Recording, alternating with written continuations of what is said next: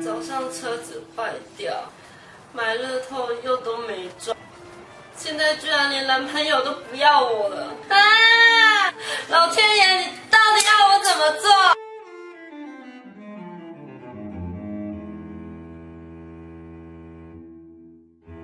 办公桌风水改造，可以在桌上呢点一盏台灯，然后照亮你的桌面明堂，明枪易躲，暗箭难防。可以在办公桌座椅的椅背呢增设啊一个小葫芦，增加长官贵人的互动。可以按年次选择吉祥物，摆放在案桌上或者是走道进出的位置。